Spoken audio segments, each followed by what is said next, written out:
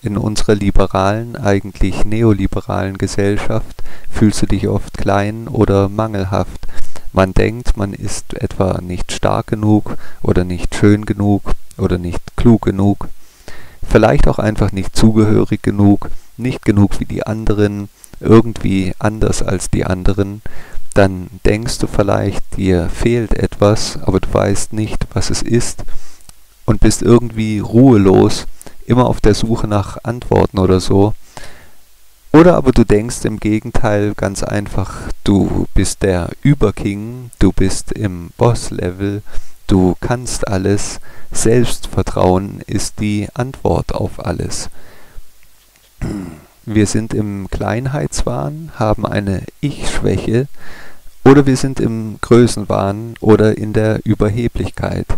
Und nur die allerwenigsten sind im Gleichgewicht, im Einklang mit sich und ihrer Geschichte. Unser Gesellschaftsideal wird dabei bezeichnet als freiheitlich, demokratisch, humanistisch, aber die Gesellschaft ist offensichtlich vor allem narzisstisch, materialistisch und hedonistisch.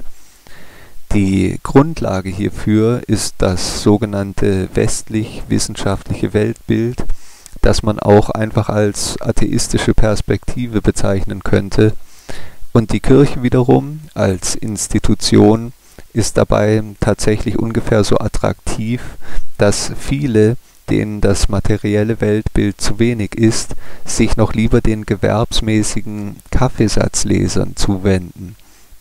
Es ist eine Gesellschaft, die auch sehr stark von Süchten geprägt ist und fast alle sind irgendwie auf einem permanenten Selbstverbesserungstrip Selbstoptimierungstrip so sehr, dass normale, entspannte soziale Kontakte darunter leiden.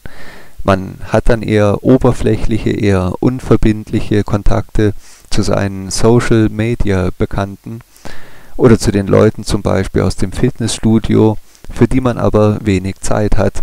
Man trifft selten Leute einfach nur, um mit ihnen in Ruhe den Tag verstreichen oder ausklingen zu lassen oder um etwas Spontanes zu unternehmen.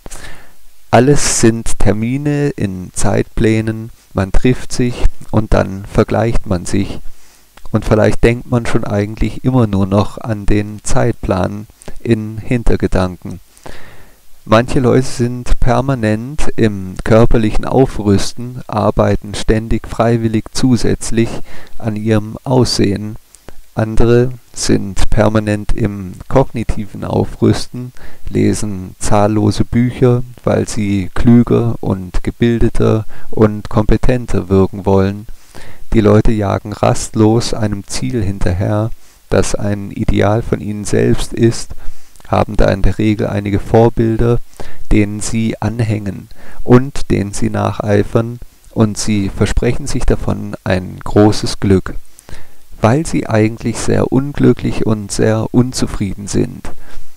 Manche sind geltungssüchtig, manche sind habsüchtig und manche sind sogar herrschsüchtig.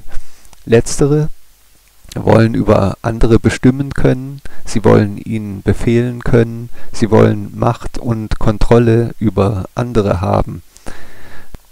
Herrschsucht, Habsucht und Geltungssucht dominieren die Gesellschaft und bilden die Struktur der Gesellschaft.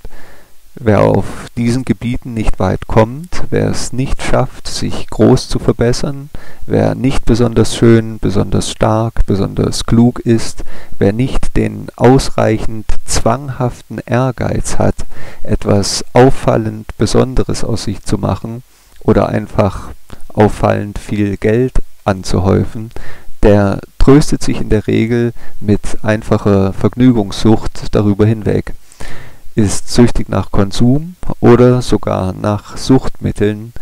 Die Sucht nach Konsum und auch nach Suchtmitteln ist besonders weit verbreitet, so wie die tendenzielle Depression, die da dahinter steckt.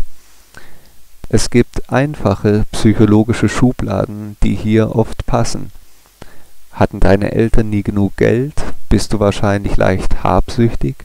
Hatten deine Eltern nie genug Zeit für dich, bist du wahrscheinlich leicht geltungssüchtig. Willst immer möglichst viel Aufmerksamkeit und Zuspruch von anderen. Oder deine Eltern waren sehr hart zu dir, dann neigst du wahrscheinlich zur Kontrolle von anderen, vielleicht auch zur Herrschsucht, vielleicht auch sogar zur Demütigung oder Erniedrigung anderer, vielleicht auch einfach zur Herausforderung anderer, beziehungsweise zur Konfrontation mit anderen.